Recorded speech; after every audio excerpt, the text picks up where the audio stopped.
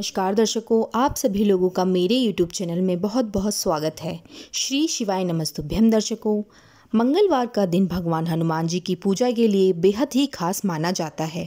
इस दिन भगवान हनुमान की बजरंग बली की पूजा की जाती है। इस दिन हनुमान जी की पूजा करने से कुछ विशेष उपायों को करने से किसी भी काम में आ रही बाधाएँ दूर होने लगती हैं। हनुमान जी को भगवान शिव का ही रुद्र अवतार माना जाता है। मंगलवार के दिन अगर हम भगवान को प्रसन्न करने के लिए कुछ उपाय करें तो भगवान अवश्य प्रसन्न होते हैं, बजरंग बली हमारी अवश्य ही सुनते हैं। मंगलवार को सुबह स्नान करने के बाद हनुमान जी को चोला आप ज़रूर चढ़ाएँ। हनुमान जी के मंदिर जाएँ और गुड़ और चने का भोग अवश्य लगाएँ।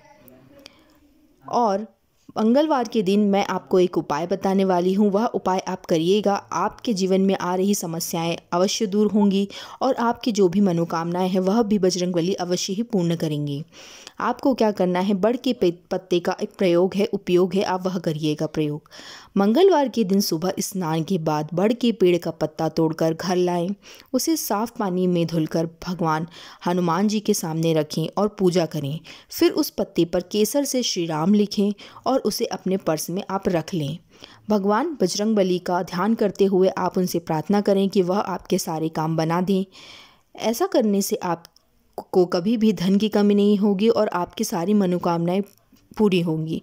ध्यान रखें कि पत्ता सूखने पर उसे गंगा में प्रवाहित आप अवश्य कर दें और दूसरे मंगलवार को आप ऐसा ही उपाय करके फिर से वह पत्ते को अपने पर्स में रख सकते हैं। मंगलवार के दिन पीपल के पेड़ की पूजा करना भी बहुत ही शुभ माना जाता है। ऐसा कहा जाता है कि पीपल के पेड़ में सभी देवताओं का वास होता है।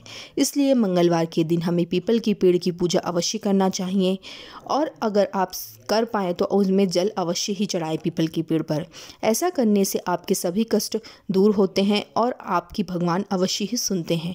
धन्यवाद दर्शकों, आपको मेरा यह वीडियो कैसा लगा आप मुझे कमेंट बॉक्स में अवश्य बताइएगा और अभी तक आपने मेरे चैनल को सब्सक्राइब नहीं किया है तो मेरे चैनल को सब्सक्राइब कर लें और बेल आइकॉन को आप प्रेस कर दें, जिससे मेरी जो भी वीडियोज़ आएँगी वो सबसे पहले आप तक पहुँच जाएँगी।